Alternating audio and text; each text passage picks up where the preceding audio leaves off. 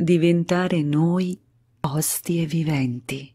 Figlia mia, anche tu puoi formare delle ostie e consacrarle. In queste ostie viventi troverò il compenso della solitudine, del digiuno e di ciò che soffro nei tabernacoli. Da Libro di cielo della piccola figlia della divina volontà, Luisa Piccarreta, 17 dicembre 1914.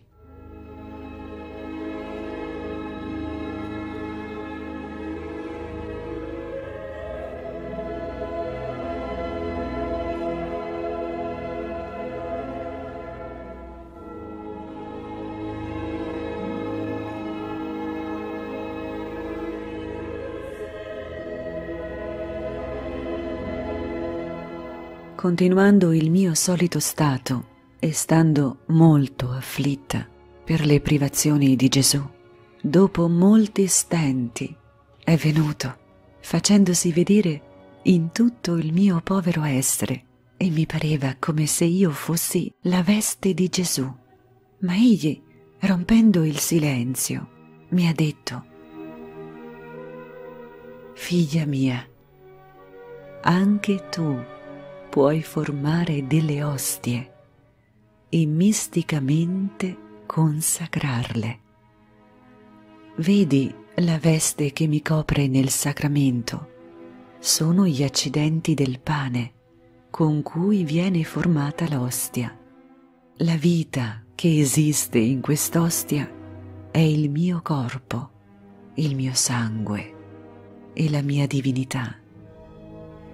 La mia suprema volontà è l'atto che contiene questa vita e questa volontà svolge l'amore, la riparazione, l'immolazione e tutto il resto che faccio nel sacramento, che mai si sposta un punto dal mio volere.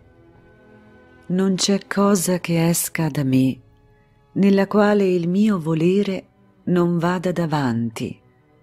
Ed ecco come anche tu puoi formare l'ostia. L'ostia è immateriale e del tutto umana. Anche tu hai un corpo materiale ed una volontà umana.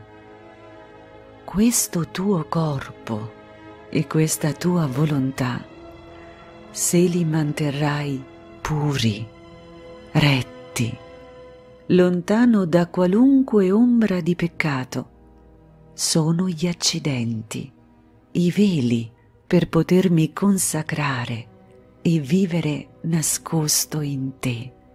Ma non basta. Ciò sarebbe come l'ostia senza la consacrazione. Ci vuole la mia vita. La mia vita è composta di santità, di amore, di sapienza, di potenza, eccetera. Ma il motore di tutto è la mia volontà. Quindi, dopo che hai preparato l'ostia, devi far morire la tua volontà in essa. La devi cuocere ben bene per fare che più non rinasca e devi far sottentrare in tutto il tuo essere la mia volontà. E questa, che contiene tutta la mia vita, formerà la vera e perfetta consacrazione, sicché non avrà più vita il pensiero umano, ma il pensiero del mio volere ed esso consacrerà la mia sapienza nella tua mente.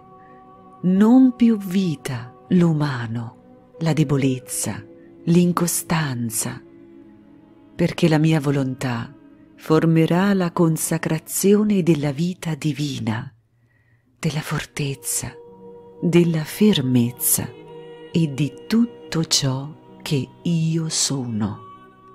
Onde ogni qualvolta farai scorrere la tua volontà nella mia, i tuoi desideri e tutto ciò che sei e che potrai fare, io rinnoverò la consacrazione e come in ostia vivente, non morta, quali sono le ostie senza di me, io continuerò la mia vita in te.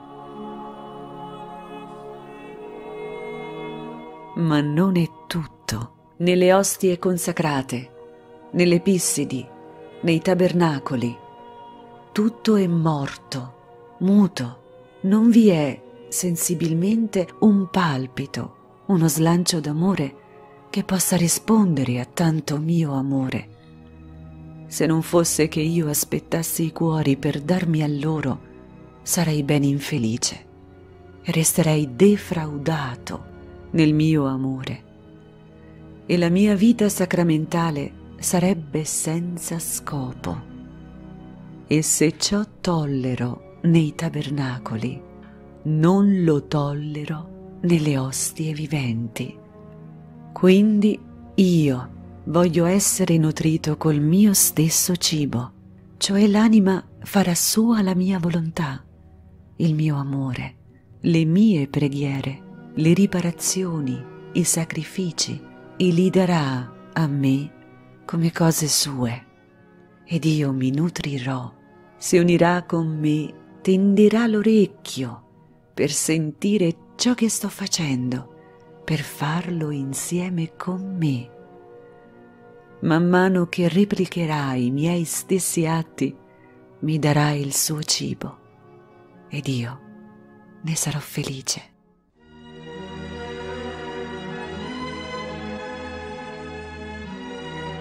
Solo in queste ostie viventi troverò il compenso della solitudine del digiuno e di ciò che soffro nei tabernacoli.